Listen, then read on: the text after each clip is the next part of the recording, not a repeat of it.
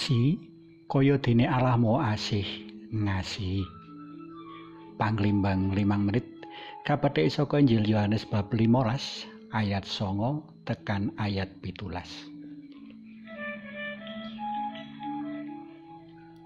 Lama paleng nyuwun pirsa?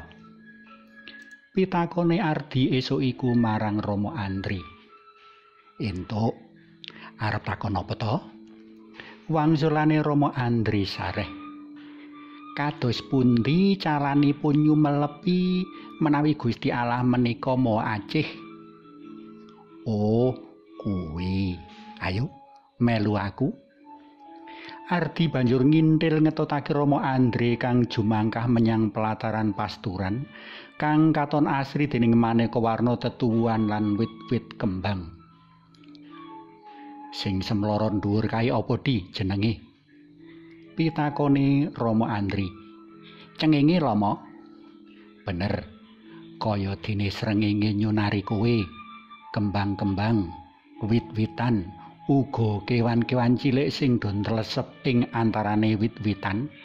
Kaya ngono mau Gusti Allah nresnani kabeh tita-titae Wah, nek ngaten Gusti Allah niku mboten pilih kacih nggih Rama. Pitakone Ardi Miterang. Betul. Betul sekali kandamu. Wangsulane Rama Andre karo ngatungake jempol tangan lorone.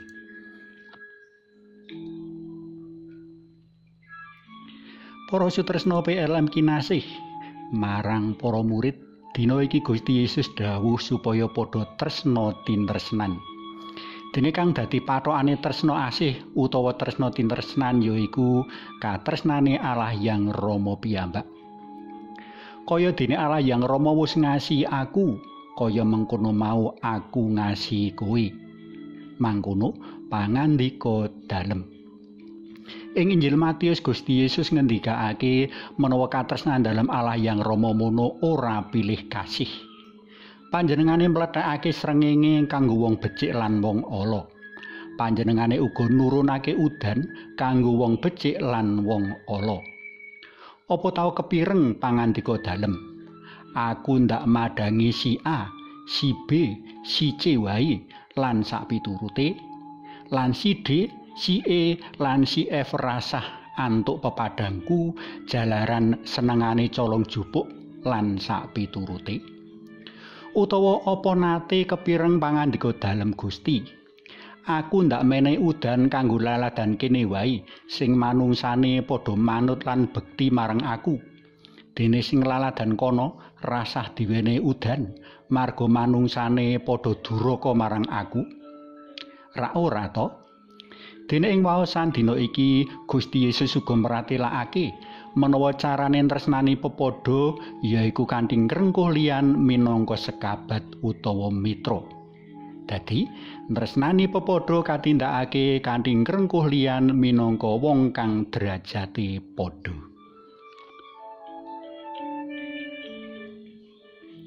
Para sutresna PLM kinasih, cetha lan rewaca dawuh dalam Gusti Yesus marang para murid uga marang kita kabeh kang ngaku dadi penderek dalem.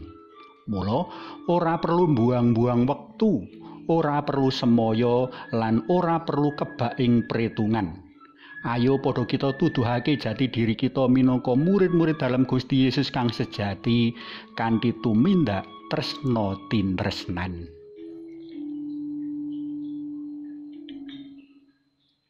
Saiki ayo padha munjuk Kunjung asma dalam yang Romo so yang putra tuwin yang roh suci. Amin. Gusti Yesus sagung ngatur panuwun kunjung ing panjenengan dalem awit sampun ngrengkuh kawula minangka mitra utawi sekabat.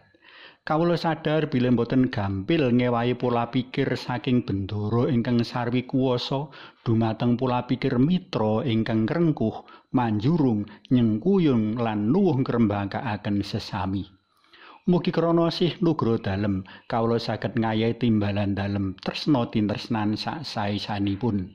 Jer panjenengan menika mitra satu kawula ingkang jumeneng nata sareng yang Rama lan yang Roh Suci ing sak lami-laminipun. Amin. Kunjung asma dalam yang Romo, so yang putra tuwin yang roh suci. Amin.